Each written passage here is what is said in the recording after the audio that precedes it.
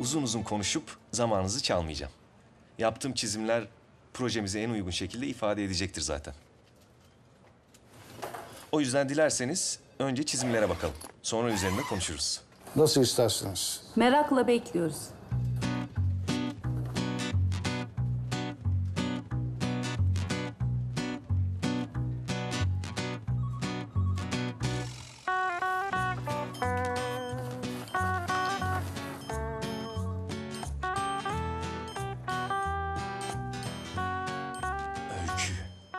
Öykü mü?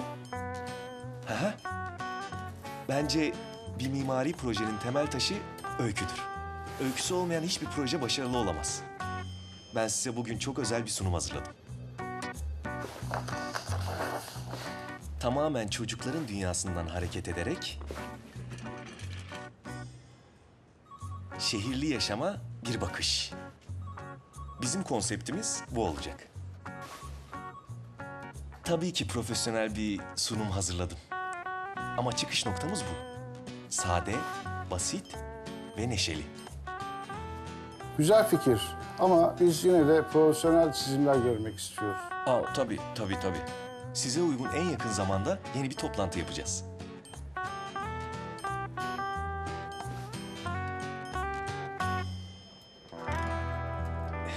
Yani yakalanman kötü olmuş Ayaz'a. Olsun. Ben intikamımı aldım mı aldım. Ne yaptın? Güzel bir şeyler çiziktirdim. Nasıl ya? Evinin duvarlarını mı boyadın yoksa? Tabii ki hayır Burcu. Bina çizimlerini kendi çizimlerimle değiştirdim. Ay şimdi toplantıda rezil oluyordur. Ay Öykü sen ne fenasın yazık ya. Hiç de bile. Hak etti o.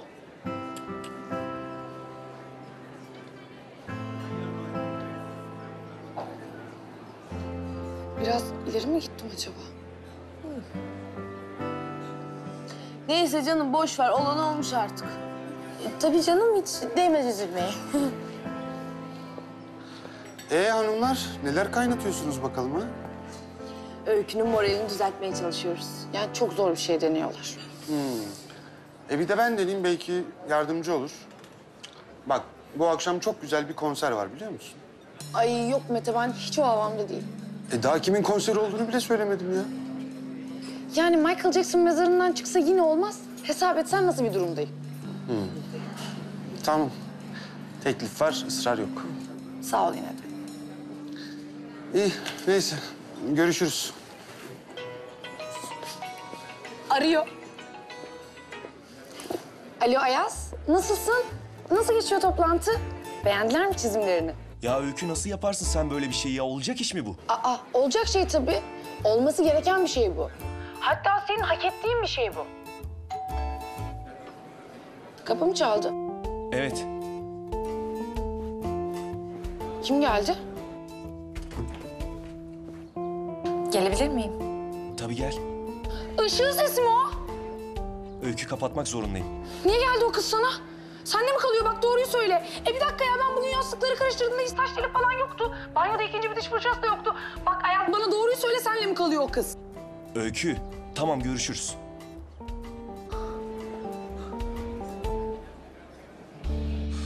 Sana ne oldu ya? iyi misin?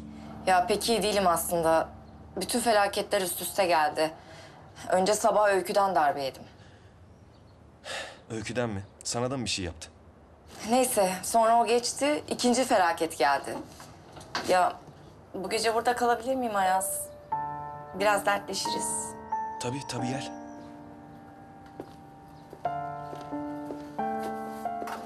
Yüzüme kapattı.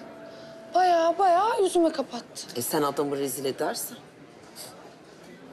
Işık da yanına geldi. Ne yapacağım ben şimdi? Hiçbir şey yapmayacaksın canım. Burada bizimle böyle güzelce oturacaksın. Şeyma bir akıl versene. E yani zaten bir kere yakalanmışsın bugün. Şimdi oraya gitsen ne yapacaksın? O yüzden en iyisi burada böyle uslu uslu oturmak. Sibel. Ha, seviyorsan git konuş bence derdim.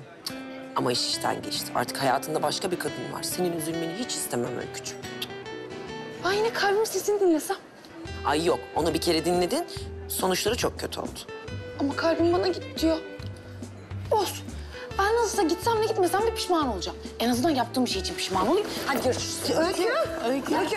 Dur. Bak yine gitti, yine yanlış yaptı. Görüyor musun? Yaptı, yanlış yaptı. Ama kırık bir kalp ne zaman doğruyu söylemiş ki? Ne güzel laf ettim ama. Ya benimle gelin. Yardımınıza ihtiyacım olabilir.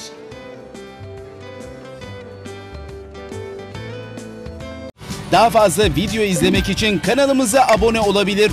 İlk izleyen olmak isterseniz bildirimleri açabilirsiniz.